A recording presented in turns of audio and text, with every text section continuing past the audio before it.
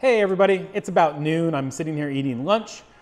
Today is Wednesday, which is one of the days that I have the full day dedicated towards Design the Everything. So far this morning, I have exercised and cleaned out the gutters, but now I'm actually gonna get started on working on Design the Everything. Starting with the Patreon of the month, no, the prototype of the month video, which I was supposed to send out a couple days ago, but I'm gonna, I'm gonna get, but I'm gonna get that edited now. Daddy, can I watch I watched the video you did yesterday. Yes, you can watch my video.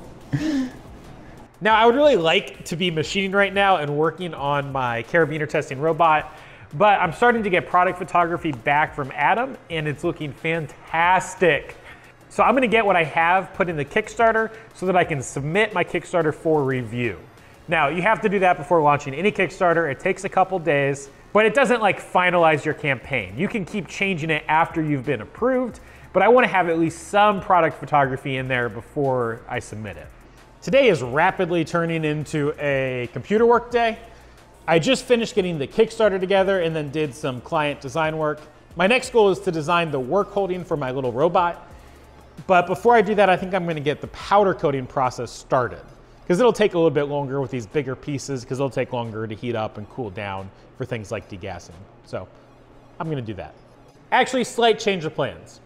When I originally made this, I intended on just Loctiting in these rods, but I'm not thrilled with the, the fit, and I want it to be take apartable. So I'm going to drill and tap some holes in this and put some set screws in, just like I did on this carriage bar. Though I did that off camera. So, but I'll do it on camera this time. Now that I'm looking at these, they are actually almost exactly the same except for the thickness. So I think I can use my same setup and my same code and it should work fine.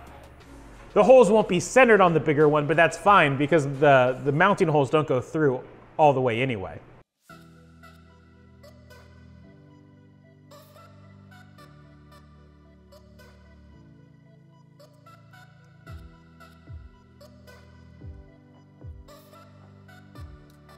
This is kind of a scary part, but I think it's ready to go.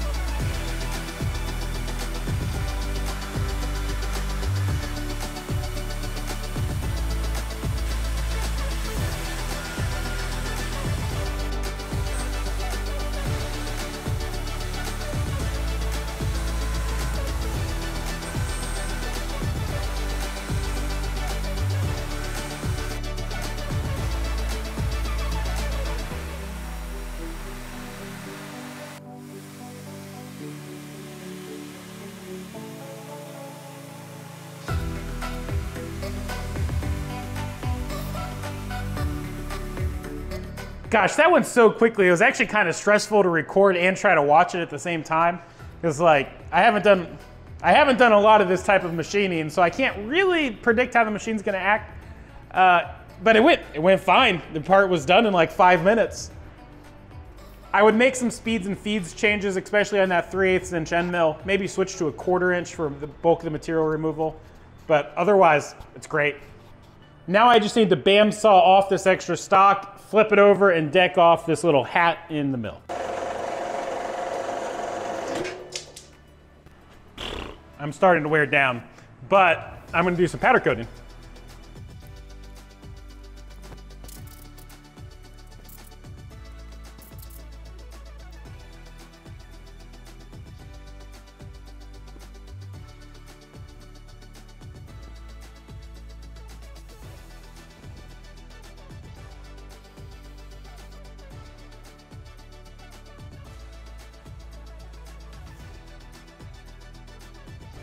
First two parts are in the oven. They'll be ready in about 17 minutes. I cannot wait to see what this looks like when everything is done and together. If you would like to buy something that I make that is not a robot, you can find it on designtheeverything.com. Thank you, and I'll see you next time.